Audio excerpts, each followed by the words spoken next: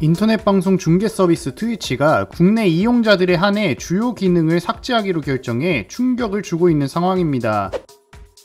앞서 트위치는 지난 9월 29일 30일부터 방송 최대화질을 1080p에서 720p로 낮춘다라고 발표했었는데요. 트위치가 이러한 결정을 내렸던 이유는 망 사용료 부담이 컸기 때문으로 분석되고 있습니다. 망 사용료란 트래픽을 처리하기 위해 국내 인터넷 서비스 제공 사업자인 통신사에 지불하는 돈인데요. 아프리카 TV는 망 사용료로 연간 150억 원을 지불하고 있으며 미국 아마존닷컴이 운영 중인 트위치 역시 적 적지 않은 액수의 망 사용료를 국내 통신사에 지불하는 것으로 파악되고 있습니다. 트위치는 당시 한국에서만 방송 화질을 낮추는 이유에 대해 트위치 서비스를 운영하는 비용이 증가하고 있고 이 같은 일이 앞으로도 지속될 것으로 보이기 때문이라고 설명했었는데요. 이에 더해 트위치는 지난 9일 공식 블로그를 통해 VOD 콘텐츠에 관한 트위치 코리아 업데이트 및 약관 변경의 건이라는 제목의 글을 올렸습니다. 트위치는 저희는 이전부터 한국 법률 준수의 중요성을 강조한 바 있으며 진화하는 규제 기준을 충족하기 위한 최적의 방안을 구현하려는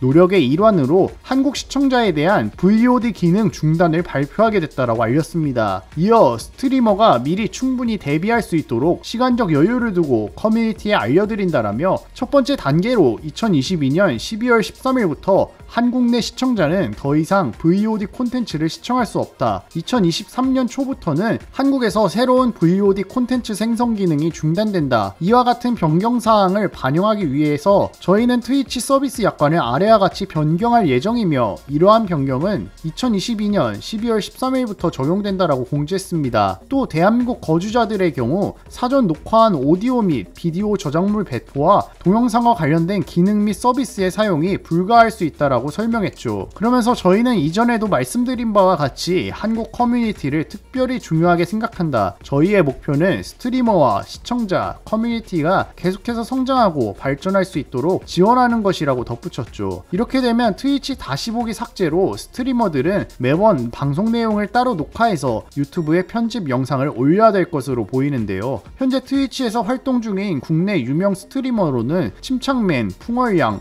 우악굿, 한동숙, 서세범양, 오킹 등이 있는데 이런 치명적인 이슈에도 불구하고 대형 스트리머들이 플랫폼 이전을 선언할지 아니면 트위치에 그대로 남게 될지 귀추가 주목되는 상황입니다. 이에 대해 네티즌들은 아프리카 TV 주가 올라간 게 이것 때문이었구나. 이거 망 사용료 때문에 그런 거지. 중국이랑 다를 게 없는 나라. 통신사들 때문에 공산화되어 가네. 라는 등의 반응을 보이고 있는데요. 시청자 여러분은 해당 내용에 대해 어떻게 생각하시나요?